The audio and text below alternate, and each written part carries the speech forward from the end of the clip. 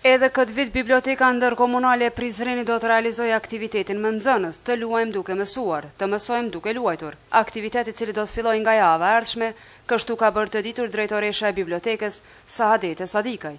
Fëmijët gjatë tërë javës do të kenë mundësi t'i mësojnë të gjitha lëndët mësimore krahas lojës. si dhe të vizitojnë vende dhe institucione të ndryshme. Data shtatë ne do të fillojmë me aktivitetin e rregullt vjetor Të luajmë duke mësuar, të mësojmë duke luajtur, ku do të jenë pesëdhjetë fëmijë të nacionaliteteve të ndryshme, që gjatë një jave do të jenë këtu në bibliotekë, do t'i mësojnë gjitha lëndët mësimore, krahas lojës, kuptohet, Do të organizohen aktivitete të ndryshme përcjellëse me ta dhe vizita në institucionet e ndryshme edukative arsimore, do thotë shpresojmë që do të jetë një aktivitet i suksesshëm sikurse dhe vitet tjera.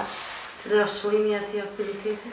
Qëllimi i aktivitetit, ky qëllim është tradicional dhe kemi pa që edhe koha e mbajtjes është muaji gusht, ku shumica e fëmijëve disa kanë mundësi të jenë në pushime verore, mirëpo një numër i caktuar prej tyre Nuk kanë mundësi të jenë në pushime verore, kështu që ne do të bëjmë tubimin e këtyre fëmijëve dhe ata gjatë një jave do të njihen mes vete, do të krijojnë raporte miqësore mes vete, do të njihen me lëndë të ndryshme të cilat do të kenë rast të mësojnë gjatë vitit shkollor.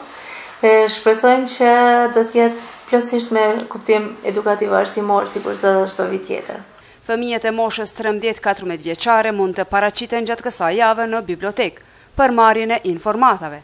Për mbajtjen e këtij aktiviteti do thotë janë diku shtatë deri tetë të rregullt, që mbajnë çdo vit, mirëpo gjatë këtij viti kemi planifikuar që t'i që t'i angazhojmë edhe pesë të tjerë, që do të jenë të angazhuar vetëm në angazhime ditore.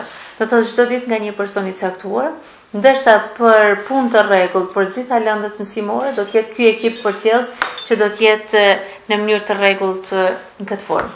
Kurse në muajt në vijim kjo bibliotekë pritet të realizojë edhe disa aktivitete mjaft të rëndësishme për nxënësit, studentët dhe të rinjët e Prizrenit, e ku të gjitha këto aktivitete sipas saj janë të mbështetura nga Ambasada Amerikane.